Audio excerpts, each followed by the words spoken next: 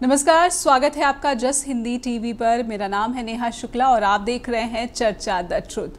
हर हफ़्ते हम इस कार्यक्रम में किसी सच की तलाश करते हैं। वो सच राजनीति से जुड़ा हो सकता है अपराध की दुनिया से जुड़ा हो सकता है, लोगों के कल्याण से जुड़ा हो सकता है। लेकिन आज जो सच हम तलाशने की कोशिश कर रहे हैं या फिर उसके जड़ों तक पहुँचने की कोशिश कर रहे हैं, वो है भारत में महिला सुरक्षा की स्थिति पर। आ, सवाल इसलिए भी बहुत ज़्यादा गंभीर है क्योंकि हाल ही में उज्जैन में एक 12 साल की बच्ची को जो है रेप का शिकार होना पड़ा और लगभग वो आठ किलोमीटर तक चलती रही लोगों से मदद मांगती रही। लेकिन समाज का एक भी नागरिक ऐसा सभ्य नहीं वहाँ पर मिला जो बच्ची को मदद करता। सबने या तो कुछ पैसे थमा दिया या फिर उसे चलता कर दिया। कहीं ना कहीं ये जो स्थिति थी, ये जो तस्वीरें सामने आई, वो भारतीय समाज के नैतिक मूल्यों पर बहुत गंभीर प्रश्न खड़े करती है। हमारे साथ देश की जानी मानी महिला अधिकारों के लिए लड़ने वाली लड़ाई छेड़ने वाली कार्यकर्ता जुड़ चुकी हैं जगमती सांगवान। किसी परिचय की मोहताज तो नहीं है लेकिन मैं अपने दर्शकों की जानकारी के लिए बता दूँ कि एडवा जो एक संस्था है जो महिला अधिकारों के लिए आवाज़ समय समय पर उठाता रहता है उसकी वो वाइस प्रेसिडेंट है खुद खिलाड़ी भी रह चुकी हैं। तो बहुत बहुत स्वागत करती हूँ मैं जगमती सांगवान आपका चर्चा द ट्रुथ में। हाँ धन्यवाद नेहा। जी।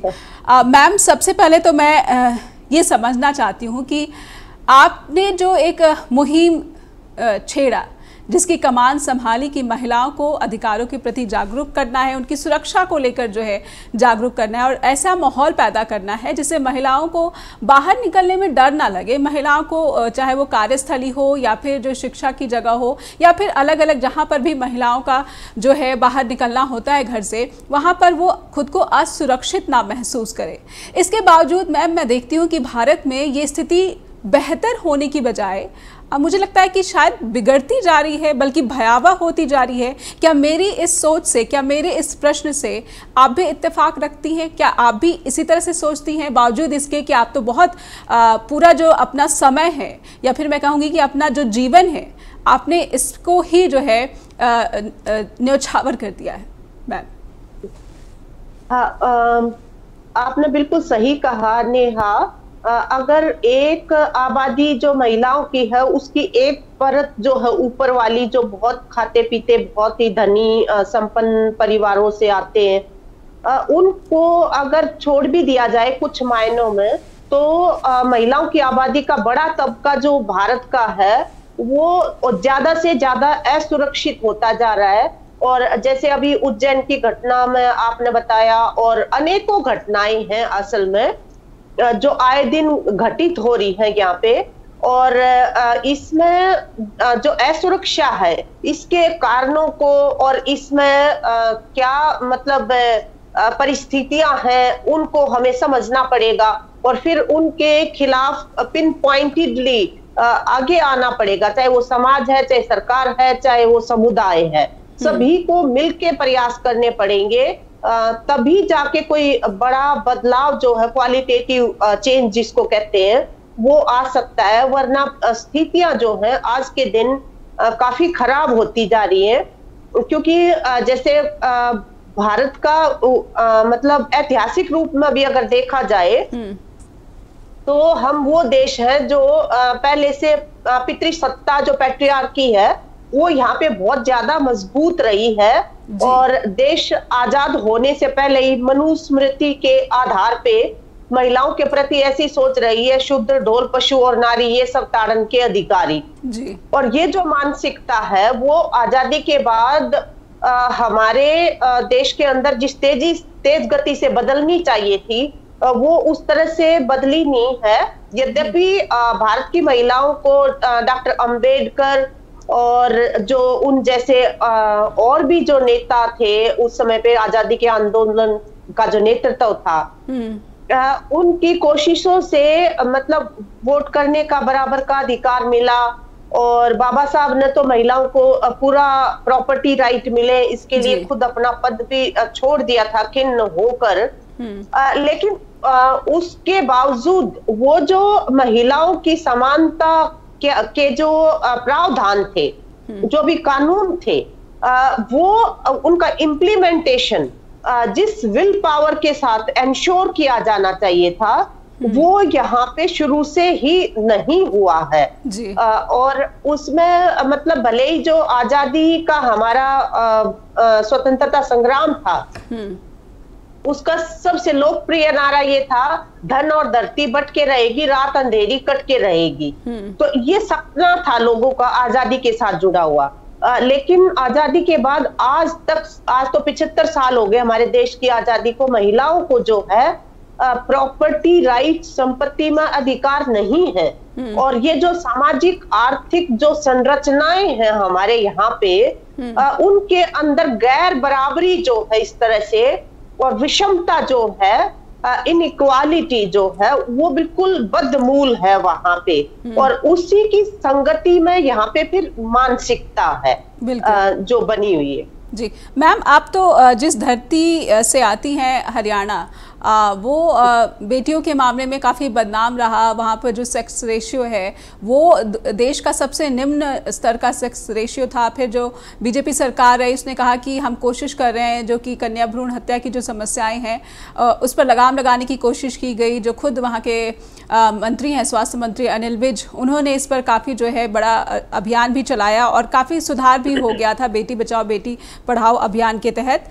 लेकिन मौजूदा वक्त में मैम मैं हरियाणा से शुरुआत करूँगी और फिर एक एक करके जो पूरे देश की परिस्थितियाँ बनी हुई है, महिला सुरक्षा को लेकर या फिर महिलाओं के लिए ऐसा वातावरण तैयार करने को लेकर कि महिलाएँ निडर होकर, ना सिर्फ़ शिक्षा को, का अधिकार हासिल करने के लिए, बल्कि अलग अलग स्तर पर जहाँ पर राजनीति ही क्यों ना, अब तो बात महिला आरक्षण की होने लगी है राजनीति में, इसलिए मैं समझना चाहूँगी कि हरियाणा की जो भूमि है, यहाँ पर कितना सुधार हुआ है, दो टर्म हो चुका है बीजेपी की गवर्नमेंट को। देखिए जब से बीजेपी की गवर्नमेंट आई है तो ये असुरक्षा जो है वो बढ़ती ही जा रही है। क्योंकि बीजेपी जो है वो लगातार जो अपराधी हैं उनको संरक्षण देती आ रही है। यहाँ के जो हरियाणा की लड़कियाँ हैं वो खेलों के अंदर सबसे अच्छी प्रतिभा का प्रदर्शन करती है। मेडल जीत के लेकर आई ओलंपिक्स के अंदर हर स्तर पे। लेकिन उनके साथ जो हरियाणा के खेल मंत्री जो हैं उन्होंने महिला एथलीट कोच जो है हमारे यहाँ की उसके साथ आ, उस पे अटेम्प्ट टू रेप किया। उसने शिकायत की और हम्म। हम महिला संगठनों ने लगातार एक महीने में सात सात जगह पे हम थानों में बंद किए गए। हमने ऐसा आंदोलन चलाया कि ऐसे मंत्री को जो मॉरल टर्पिट्यूड का जिसके ऊपर मुकद एक दावा है मुकदमा है उसको मंत्रिता से हटाया जाए ताकि महिलाओं के अंदर असुरक्षा की भावना ना हो हम्म। लेकिन सरकार आज भी जब वो चार्जशीट हो चुका है संदीप सिंह वो मंत्री जो है आज भी उसको बैठाए हुए है दूसरी तरफ़ जो हमारी कुश्ती की ओलंपियन खिलाड़ी है ब्रजभूषण शरण जो कुश्ती के अध्यक्ष थे संघ के अध्यक्ष उन वो चार्जशीट हो चुके हैं वो आज भी संसद के अंदर दन दन आते घूमते हैं बिल्कुल और इसी तरह से देखेंगे कुलदीप सेंगर का मामला हो चाहे हम्म। चाहे और उसमें बिल्किस बानो का मामला देखिए कि 15 अगस्त के दिन बिल्किस बानो के जो रेपिस्ट थे गैंग रेपिस्ट उनको जो है सम्मानजनक तरीके से आ, उनकी सजा जो है वो कम की गई उनको छोड़ा गया और इतना हम्म। फूल मालाएँ फूल मालाएँ पहना के उनका स्वागत किया गया।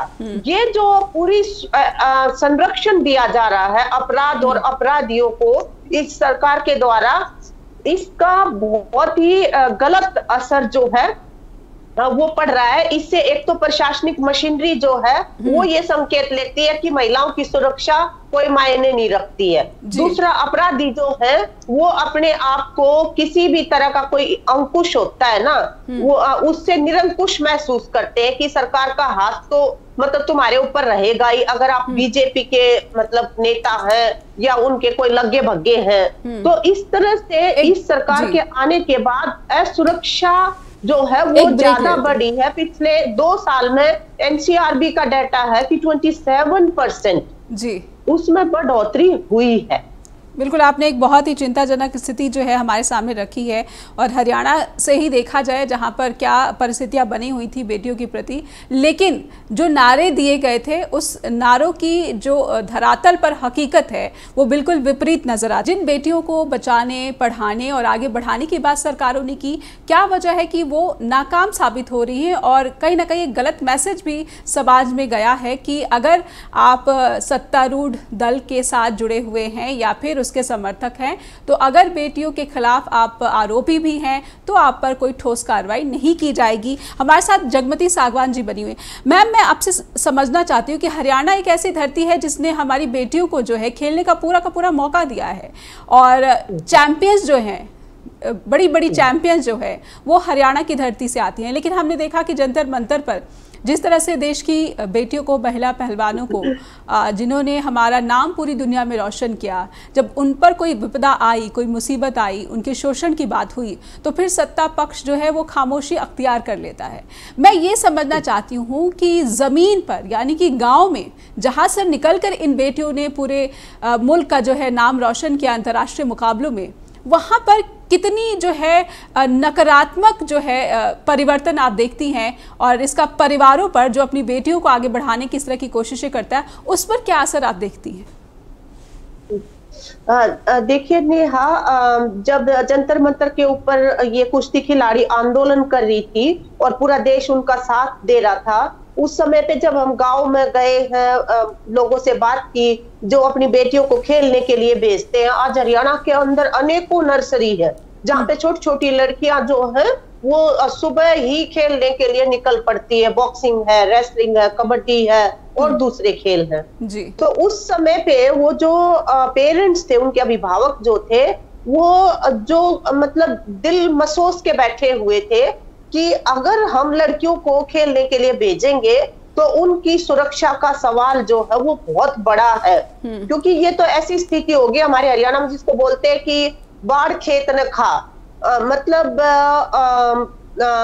हैज़ ईटिंग द फ़ील्ड जिसको कहा जाता है जी कि जो खुद अध्यक्ष हैं एसोसिएशन के जो खुद जिनको प्रोटेक्ट करना चाहिए वही उसका भक्षण कर जिनको हाँ जी हाँ जी. जो प्रोटेक्ट करना चाहिए जिनको वही उनके भक्षक की तरह से सामने आ रहे थे तो बहुत हम्म। ज़्यादा उनके अंदर चिंता थी और एक डर का माहौल था बच्चियों के अंदर हम्म। और दुर्भाग्य से सरकार के सामने ये मौका था कि अगर वो सही कानूनों को लागू करते हुए हम्म। और बहुत फेयरली इन अपराधियों ने जो भी अपराध किया था उसका उतना भर सजा कोई ये नहीं करा था कि फांसी तोड़ो लेकिन कानून के हिसाब से जो भी बनता था अगर वो प्रक्रियाएँ सही से की जा की जाती तो एक संकेत ये भेजा जा सकता था हम्म। कि लड़कियों के साथ और खास तौर पे जो खिलाड़ी लड़कियाँ हैं हम्म। जो ज़्यादा वल्नरेबल है उनके साथ कोई भी किसी तरह की बदसलूकी करेगा छेड़छाड़ करेगा यौन हिंसा करेगा तो उसको बख्शा नहीं जाएगा। तो ऐसा संकेत अगर सरकार देती तो ये मौका था कि और भी ज़्यादा लड़कियाँ खेल के मैदान में उतरती। लेकिन हम्म। दुर्भाग्य से ऐसा नहीं हुआ। सरकार जो है वो अपराध करने वालों को संरक्षण देती बचाती हुई उनके साथ खड़ी हुई नज़र आ रही है। हम्म। इसकी वजह से जो खिलाड़ी लड़कियों के माता पिता हैं और स्वयं जो खिलाड़ी लड़कियाँ हैं हम्म। उनका मनोबल गिरा हुआ है आज के दिन।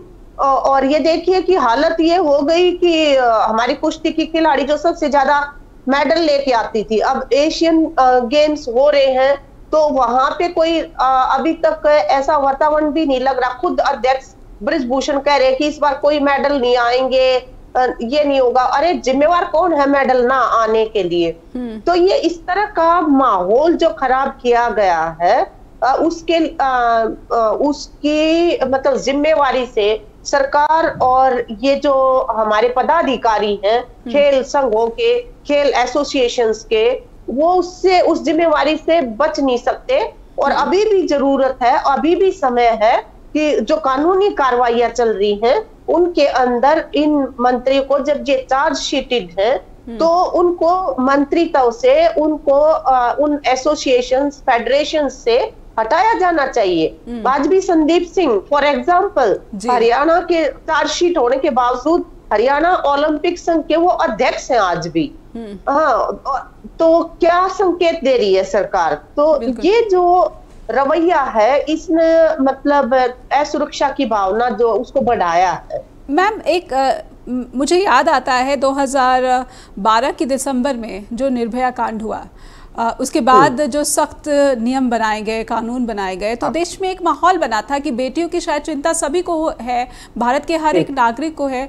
आ, उसके बाद हाँ। ऐसा लग रहा था कि शायद बेटियों को आगे बढ़कर उनके ऊपर जो अत्याचार हुआ है उसे बोलने। का उसे लोगों के सामने लाने का जो है साहस जो है ये बनाया गया है। या फिर लोग उसका समर्थन कर रहे हैं कि आप आगे बढ़ो आप शिकायतें करो हम आपका साथ देंगे न्याय की लड़ाई में। लेकिन जब ऐसे ब्रजभूषण शरण सिंह जैसे जो आरोपी कटघरे में खड़े सामने खड़े किए जाते हैं या फिर संदीप सिंह या फिर मैं राम रहीम को भी जिस तरह से बार बार रोल मिल रही है एक रेपिस्ट को हाँ, तो हाँ, जब बीजेपी इसके पीछे नज़र आती है तो क्या ये जो साहस है जो हम्म। यौन शोषण का शिकार जो बेटियाँ हैं क्या इस साहस हम्म। को भी बहुत पीछे धकेला जा चुका है कि अब शायद इस तरह की आवाज़ें उठनी भी जो है वो कम हो जाएँगी हाँ बिल्कुल सही कहा आपने कि जब निर्भया का कांड हुआ था हमारे देश के अंदर तो उस समय पे जो जस्टिस वर्मा कमेटी की रिपोर्ट आई थी हम्म। उसके बाद उस रिपोर्ट की जो रिकमेंडेशन है जब वो लागू की गई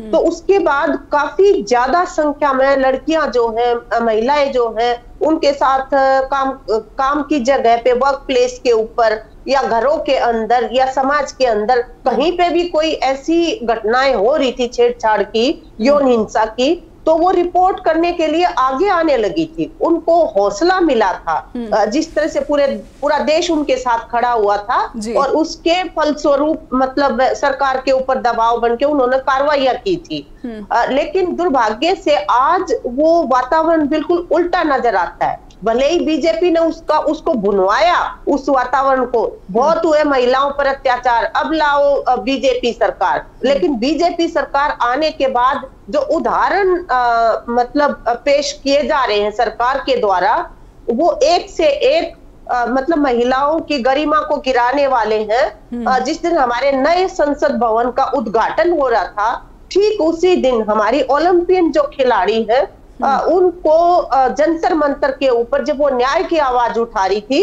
तो उनको वहाँ पे सड़कों पे घसीटा जा रहा था तो ये इस तरह के जो दृश्य है ये पूरा जो लोग महिलाओं की सुरक्षा के लिए महिलाएँ जो आगे आना चाहती हैं अपने अधिकारों को एक्सरसाइज करने के लिए हम्म। उनके मनोबल को तोड़ने वाले हैं ये और हम्म। सरकार के ऊपर निश्चित रूप से सवाल सवालिया निशान है कि उनकी महिलाओं की सुरक्षा के प्रति जो प्रतिबद्धता है वो उसका लेवल क्या है बिल्कुल ज़ीरो पे गया हुआ है हम्म। जी बिल्कुल। आ, एक बात मैं ये भी समझ लेना चाहती हूँ ये भी हरियाणा की ही बात है मैम। किसान आंदोलन के समय हमने देखा कि किस तरह से जो हरियाणा की जनता है आ, वो सच को सच और झूठ को झूठ बोलने से जो है परहेज़ नहीं करती है। यही हाल हम देखते हैं कि जब बेटियों पर अत्याचार की बात होती है तो साम, सामूहिक रूप से आगे बढ़कर जो है पंचायतें या फिर खाप पंचायतें ही कह लीजिए सब इकट्ठा होती हैं और ये बेटियों को समर्थन देने की बात होती है। यानी कि जो एक संवेदनाएँ हैं उसके साथ साथ जो मानसिक समर्थन की बात एक ज़रूरत होती है, ये समाज से मिलता है। इसके बावजूद क्या मौजूदा सरकार पर प्रेशर नहीं बन पाया कि बेटियों की सुरक्षा से अगर आप कॉम्प्रोमाइज़ कीजिएगा या फिर इसको अनदेखी करेंगे तो फिर आपको इसका खामियाजा भुगतना पड़ सकता है। क्या ये भय सरकार में पैदा नहीं हो पाया या फिर किसी और बात की कॉन्फिडेंस सरकार में दिखती है? देखिए, नेहा जिस हद पर जाकर सरकार जो है हरियाणा के मुख्यमंत्री या देश के जो आ, खेल और प्रधानमंत्री। इन आ, मतलब आरोपित मंत्रियों को बचा रहे हैं वो मतलब लॉजिक जो समझने का लॉजिक होता है उससे परे की बात है कि कहीं पे कहीं तार कहीं सूत्र और जगहों पे भी ना जुड़े हुए हो हम्म। क्योंकि खुद ब्रिजभूषण ने कहा था कि मैं अगर मुँह खोलूँगा तो सुनामी आ जाएगी वो सुनामी जो है वो भारतीय जनता पार्टी का जो नेतृत्व है हम्म। शायद वो उसी के बारे में बोल रहे होंगे हम्म। अन्यथा कोई भी राजनीतिक पार्टी कोई भी राजनेता जो है इस हद तक मतलब अपराधियों को बचाने के लिए जो जाता है उससे कई तरह के सवाल जो है उन खुद उनके बारे में भी खड़े होते हैं यहाँ पे। इतने लोग मतलब सड़कों के ऊपर उतरे हैं। हम्म। हम खुद बता रहे हैं कि हमारे साथ किसान नेता खा पंचायतों के नेता हम सब जो है जब संदीप सिंह थे आरोपी जो यौन हिंसा के थे उनसे 26 जनवरी को जब गणतंत्र दिवस पे झंडा फहरवाया जा रहा था। हम खुद सारे सड़कों पे थे। मैम आपने हरियाणा के बारे में तो कहा कि यहाँ पर जो जन भावना है वो बेटियों की सुरक्षा के लिए कहीं ना कहीं एकजुट दिखती है। लेकिन उज्जैन की जो तस्वीर आई है ये इसी जन भावना पर सवाल खड़े करती है मैम। क्या वजह है कि उज्जैन में एक 12 साल की मासूम बच्ची को मदद के लिए कोई आगे नहीं आया बल्कि उसको पचास सौ रुपये देकर आगे बढ़ने को कहा गया? या फिर किसी ने आ, सोचा भी नहीं कि इसे लेकर जो है पुलिस को ही खबर कर दी जाए कि एक बच्ची जो है उसके साथ इतना जघन्य अपराध हुआ है? देखिए नेहा हमारे यहाँ पे जो कानूनी व्यवस्था है उसमें जो आदमी आगे आता है कानून को मदद करने के लिए रिपोर्ट करने के लिए अपराध को हम्म। उसको सौ झंझटों में फंसा दिया जाता है हम्म। और लोग जो है वो खुद डरने और बचने लग जाते हैं ऐसी परिस्थिति के अंदर हालाँकि ये दुर्भाग्यपूर्ण है हम्म। हमें जो सरकार की तरफ़ से जो ये झंझट खड़े किए गए हैं कि जिनमें आप उलझते हुए नज़र आते हैं हमें उनके खिलाफ बोलना चाहिए और कोई भी इस तरह की पीड़िता है उसके साथ खड़ा होना चाहिए लेकिन हमें इन इनके अंदर भी लुक इन टू करना पड़ेगा कि हम्म। रोज रोज आपको थाने बुलाया जाएगा रोज रोज आपको पुलिस के चक्कर काटने पड़ेंगे और मतलब ऐसा व्यवहार होने लग जाता है कि जैसे हमने अपराध किया है हम्म। दिलेरी दिखाने की बजाय जो है हम्म। तो एक तो ये परिस्थिति को बदलना पड़ेगा और दूसरा ये है कि बिल्कुल आ, लोगों को जो है वो अपनी जो बेटियाँ हैं उनके ऊपर उन्होंने बंदिशें लगा के देख ली तमाम तरह की और लेकिन वो फेल हो रहा है वो जो स्ट्रेटजी है उनकी। उनकी स्ट्रेटजी अब ये होनी चाहिए कि वो पूरे दिल और दिमाग के साथ अपनी लड़कियों के साथ खड़े हो। क्योंकि वो आज जिस भी फ़ील्ड में जा रही है चाहे वो शिक्षा का है चाहे वो खेल का है चाहे साहित्य का चाहे कला का है हम्म। वहीं पे देश के शौर्य को चार चाँद लगा रही है। जी। तो वो जो लड़कियाँ हैं आज पूरे देश को एडमिनिस्ट्रेशन कम्युनिटी सबको उनके साथ खड़े होने की ज़रूरत है उनको बताने की ज़रूरत है कि हम्म। पीछे हटना नहीं है आ, इसी के अंदर से रास्ता बनाना है हम सबको मिलके जो है हम्म। ये संकेत देने की ज़रूरत है अपराधियों को कि हम अपनी लड़कियों के महिलाओं के साथ खड़े हैं हम्म। और कोई भी अगर उनके साथ इस तरह की हरकतें करता है तो उसका सरकार और पुलिस मशीनरी भले ही आ, मतलब आ, नोटिस ना ले लेकिन जनता भी उसका मुँह तोड़ जवाब दे सकती है। इतना जन दबाव क्रिएट कर दे हम अपराधियों के ऊपर भी और दूसरों के ऊपर। आज समय की ये मांग है। आ, अगर यू सोचते हो कोई कि आ, जैसे उज्जैन में बच्ची के साथ हुआ या खिलाड़ी लड़कियों के साथ हो रहा है ये हम्म। सारे इनको देख के पीछे कदम हटाने की ज़रूरत नहीं है। जी। आ, पीछे पीछे रास्ता नहीं है रास्ता आगे है आ, हम्म। बस हमारे से चूक ये हुई है कि हमने अपनी बेटियों को हमेशा यही सिखाया कि सीधे जाना सीधे आना किसी से कोई मतलब नहीं रखना हम्म। अब उनको ये भी सिखाना पड़ेगा कि कोई अगर आपके साथ बदसलूकी करता है कोई आपके साथ यौन हिंसा करता है तो अकेला मत समझना हम तुम्हारे साथ खड़े हैं और पूरा समाज तुम्हारे साथ खड़ा है और अपराधियों को जो है वो आ, मतलब आ, पीछे की तरफ़ धकेलना है हमें पीछे नहीं जाना है ऐसा भरोसा उन बेटियों को दिलवाने की ज़रूरत है चाहे वो उज्जैन का आ, मामला है हम्म। चाहे वो दूसरी जगह की घटनाएँ हैं क्योंकि हम्म। बेटियाँ सबके घरों में है और महिलाएँ जो है वो नागरिक भी इस देश की पिछहत्तर साल की आज़ादी के बाद ये फालतू के नाटक अमृत महोत्सव ये वो इनके ऊपर जो फिजूल खर्चिया और लफाजी की जाती है हम्म। इसकी बजाय उनको जो है असल में हक देने चाहिए। अभी देखिए तैतीस प्रतिशत आरक्षण के नाम पे सरकार ने क्या खेल खेला महिलाओं के साथ? जी। तो एक तो अपराधियों को संरक्षण दे रहे हैं दूसरा उनके साथ सदमता कर रही है। हम्म। कहा कि 33 प्रतिशत आरक्षण दे रहे लेकिन 33 प्रतिशत आरक्षण लागू होगा कब?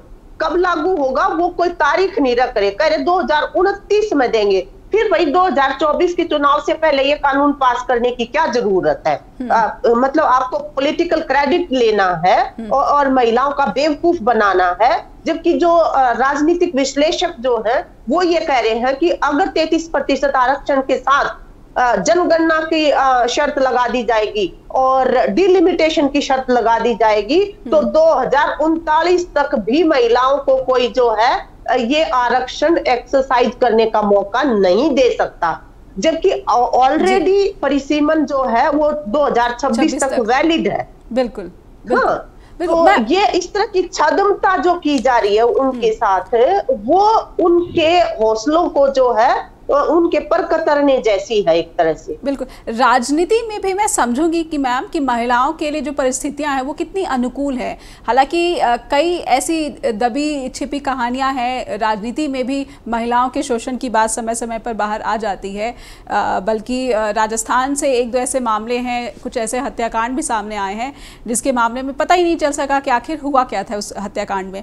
आ, लेकिन मैम मैं ये समझना चाहती हूँ कि भारत में महिलाओं की सुरक्षा सुरक्षा के लिए, महिलाओं के अधिकारों की सुरक्षा के लिए भी बहुत भारी रकम खर्च की जाती है। मैं राष्ट्रीय महिला आयोग का तो नाम लूँगी, साथ ही साथ प्रदेश की तमाम जितनी महिला आयोग है महिला संस्थाएँ हैं, जो कॉन्स्टिट्यूशनल यूनिट्स हैं, इनको आप किस तरह से आखती हैं? अगर अमृतकाल में भी ये अपने मकसद को पूरा कर पाने में या फिर कहीं उसके आसपास ही पहुँच पाने में नाकाम रह जाती है तो फिर क्यों इतना पैसा जो है इस पर लगाया जा रहा है या फिर खर्चा किया जा रहा है?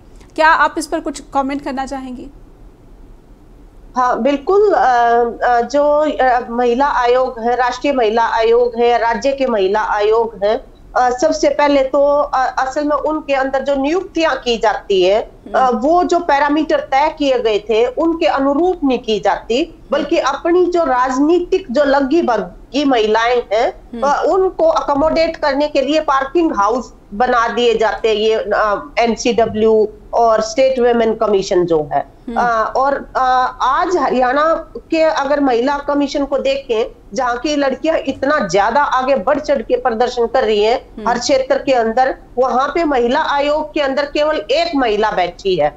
पूरा उसके अंदर सारे सदस्य भी नहीं है। और वो जो महिला है दुर्भाग्य की बात ये है कि we never heard her name before this कभी उसका नाम तक सुनाई नहीं दिया महिलाओं के लिए काम करने के क्षेत्र में। और हम्म। इसीलिए उन्होंने जब ये संदीप सिंह का मामला आया हम्म। और मुख्यमंत्री जो हरियाणा के थे उन्होंने तो सबसे पहले इस मामले को संदिग्ध बनाने की कोशिश की हम्म। आ, कहा कि किसी लड़की ने अनर्गल आरोप लगाए हैं आ, इसके आधार पे मंत्रियों को थोड़ी हटाया जाता है नहीं हटाएँगे नहीं हटाएँगे वो तो विधानसभा में भी स्टेटमेंट दे चुके हैं कि विपक्ष के कहने जी हाँ विधानसभा में भी आप उसके साथ साथ और भी मतलब एक करेला दूसरा नीम चढ़ा महिला आयोग की चेयरपर्सन जो है आ, मैडम जी उन्होंने पहला बयान ये दिया हम्म। कि आ, मैंने मंत्री जी से बात करी है और उनके साथ बात करने के बाद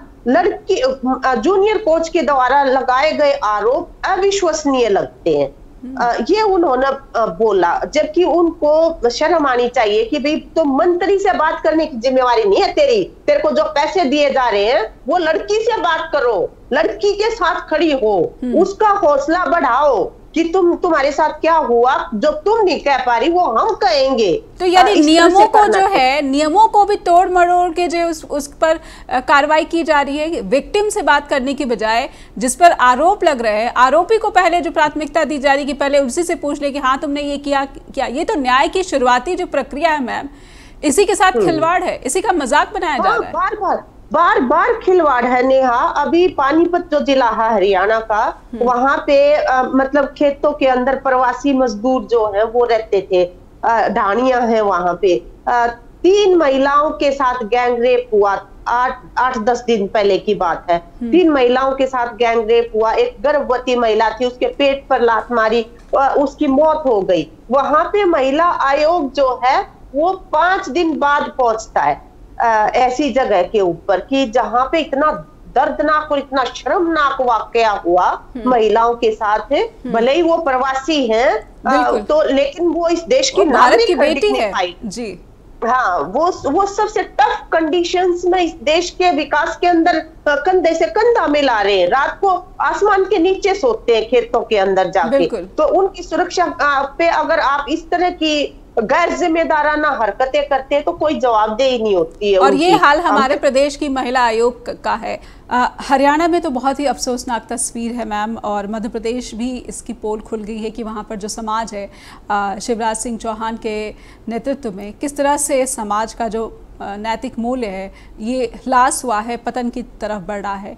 लेकिन संसद की बात करूँगी मैं संसद में जब अविश्वास प्रस्ताव विपक्षी दलों ने लाया और उसके दौरान चर्चा हो रही थी, माननीय केंद्रीय मंत्री स्मृति ईरानी बहस में शामिल हो रही थी और उन्होंने ऐसे ही बात की कि राहुल गांधी ने बहुत ही अभद्र आचरण किया है, उन्होंने आँख मारी है, उसके बाद, उस मामले का क्या हुआ, सभी बीजेपी सांसदों ने मिलकर जो है शिकायत कर दी स्पीकर के साथ।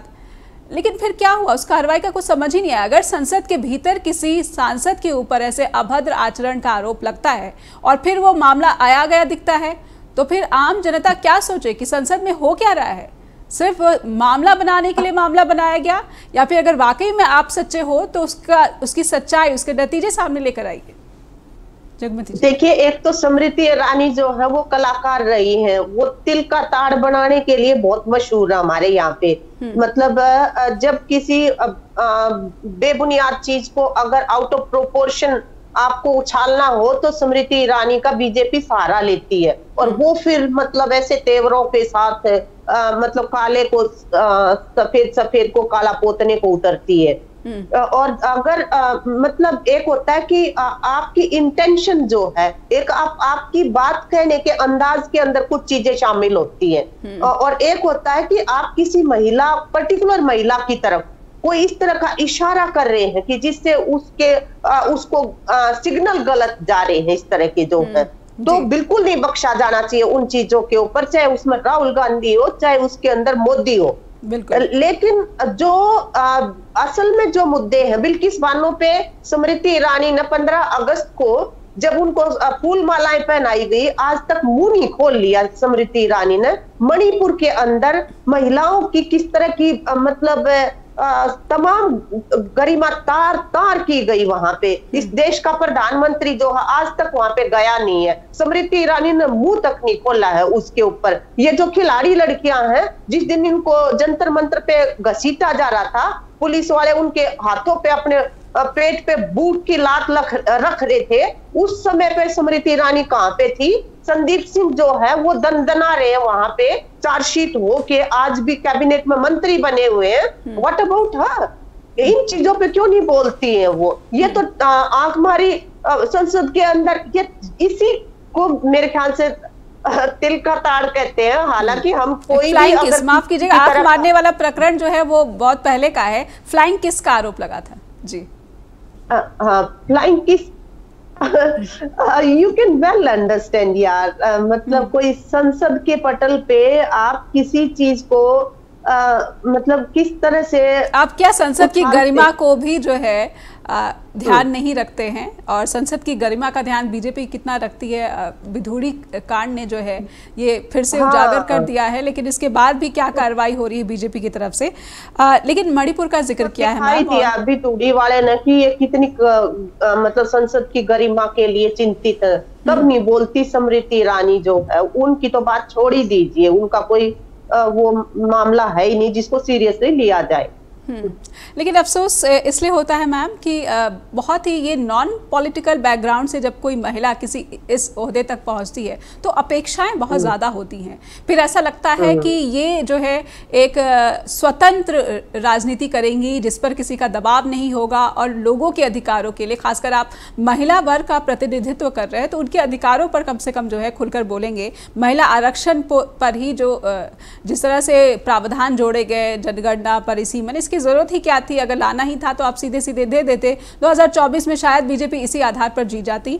लेकिन चलिए, राजनीति को हटाकर मैं मणिपुर को समझना चाहती हूँ, मैम। बहुत ही संवेदनशील मसला। पता चला कि दो महिलाओं के साथ ऐसा जघन्य अपराध हुआ है।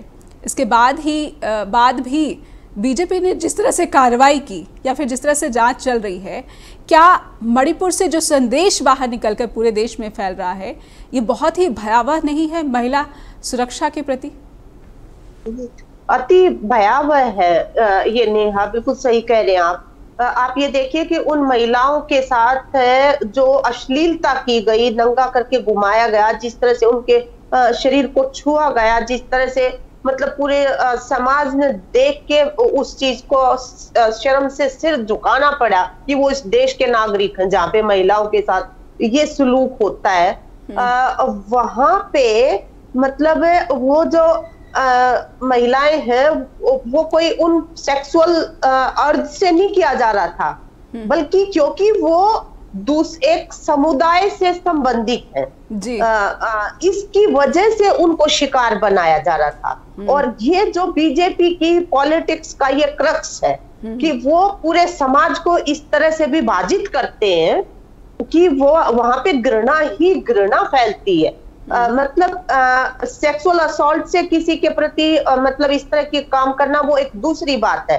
लेकिन आ, किसी के प्रति इतनी घृणा आपके दिमाग में हो कि हम्म। उस समुदाय को नीचा दिखाने के लिए उनकी महिलाओं को हथियार बनाया जाए आ, ये एक अलग जगह है।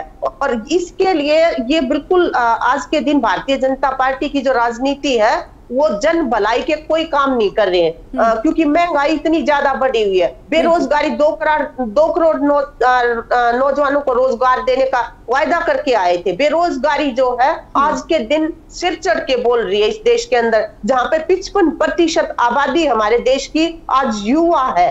अगर कोई भी ऐसा ऐसी सरकार हो जो। इस देश को असल में आगे ले जाने के लिए प्रतिबद्ध हो जो तो वाकई में विकसित होगा जिसका जो सोच है वो हाँ, भी विकसित होगी वो भी विकासशील हाँ, या फिर जो है पाषाण काल की जो मानसिक हाँ, सोच है उससे प्रभावितता हाँ, दिखती हो। मैम एक आ, क्योंकि एक सवाल समय बहुत ही सीमित रह गया है शेष तो हाँ, मैं समझना चाहती हूँ। हाँ, कि कुछ दिनों के बाद ही अब दुर्गा पूजा शुरू होगी।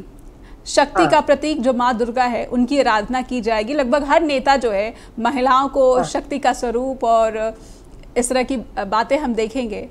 कितना बचकाना हाँ। लगता है कि हम अपनी बेटियों के साथ अपनी घरेलू घरेलू हिंसा भी एनसीबी एनसीआरबी की जो रिपोर्ट आई है उसमें घरेलू हिंसा की जो भी स्थिति है वो भी पहले से बदतर हो गई है। तो फिर ये समाज का जो दोहरा चरित्र है आखिर सुधार हम्म, आ भी हम्म। सकता है या फिर हम उम्मीद ही ना पाले आपकी उम्मीद अगर बाकी है तो किस आधार पर एक लाइन में समझना चाहूँगी क्योंकि समय समाप्त हो गया हम्म। उम्मीद हमारी इस आधार पे बाकी है कि आ, हम जब इकट्ठा होके पूरा समाज और महिलाएँ और प्रगतिशील लोग जब दबाव बनाते हैं तो जैसे निर्भया कांड के बाद इस देश के अंदर सरकार जो है वो कदम उठाने को मजबूर हुई थी इसी तरह से ये जो तानाशाह है भले ये सरकार ये संविधान में आस्था नहीं रखती मनुस्मृति में आस्था रखती है हम्म। लेकिन ऐसे ऐसे जो तानाशाह है उनको भी जन दबाव जो है वही झुका सकता है और ये अच्छी बात है कि आज जन जो है वो इनकी कुचालों को समझता नज़र आ रहा है हम्म। जैसे हरियाणा के अंदर नू के अंदर अभी इन्होंने कोशिशें की थी जहर फैलाने की आपस में मुस्लिमों और हिंदुओं को लड़वाने की हम्म। लेकिन पूरे समाज ने इनको जो है बिल्कुल नकार दिया एक सिरे से कि आप हमारा जो भाईचारा है जो इंसानी सद्भावना है हम्म। उसको बर्बाद करने पे तुले हुए हो और हम आपके मंसूबे समझ चुके हैं इसलिए कोई हमारे से अपेक्षा मत रखना हम्म। हम अपने जो मेव भाई हैं उन्होंने किसान आंदोलन में हमारा साथ दिया हम्म। और वो आ, मतलब आज़ादी के आंदोलन में उन्होंने कुर्बानियाँ दी है तो हम उनके साथ खड़े हैं इसकी बजाय की जो जलाभिषेक तो, का नाटक करने वाले बिल्कुल यानी कि जो जन भावना है इससे सरकारों को डरना चाहिए कि कोई भी सरकार जो है वो हमेशा के लिए जो हाँ, है बनी नहीं रह सकती। किसान आंदोलन ने भी यही दिखाया है। बिल्कुल बिल्कुल। बहुत बहुत धन्यवाद करना चाहूँगी इस समय आपने निकाला हमारे कार्यक्रम में आने के लिए। बहुत बहुत आभार आपका मैम। और अब दर्शकों से अनुरोध है कि आपको अगर ये कार्यक्रम अच्छा लगता है तो आप फीडबैक देना ना भूलें। आप हमें इन्फो ब्रॉडकास्टिंग डॉट कॉम पर ईमेल भेजकर अपना सुझाव भी भेज सकते हैं और शिकायतें भी भेज सकते हैं। Neha H S broadcasting dot com पर भी मुझे आपके ईमेल्स का हर रोज़ इंतज़ार रहता है। आपसे अगले हफ़्ते होगी मुलाकात। धन्यवाद।